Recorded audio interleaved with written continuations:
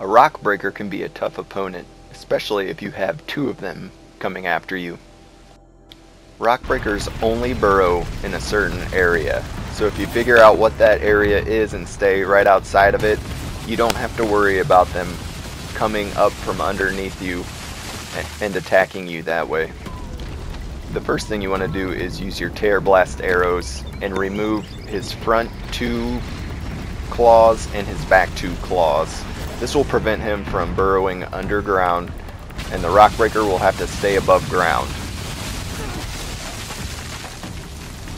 Once the rock breaker is unable to go underground, there will be two green pouches on either side of the rock breaker's stomach that you need to attack with arrows. If you attack them enough, they will explode, causing the rock breaker to catch on fire. There is also a yellow component on his back that when attacked will add extra damage. It is also possible to use the rope caster on the Rockbreaker after you've taken all of his claws off. When he's above land, just tie him down. It will make the green pouches a lot easier to attack. He's not able to move as much.